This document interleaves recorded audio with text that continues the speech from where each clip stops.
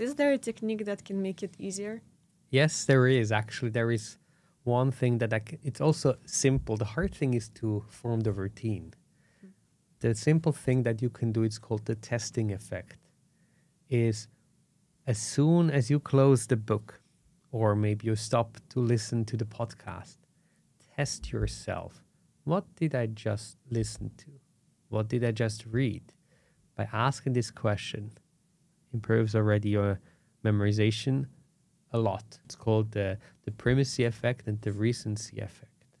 So we can also make use of that by really having um, strategic breaks in between those reading sessions, because then we have again these anchors like, oh, what was just before that break? What was just after that break?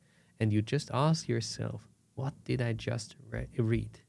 You can go further from there, but this this one question, this can be a goal that you're setting into your daily routine today, and you write it in your learning journal.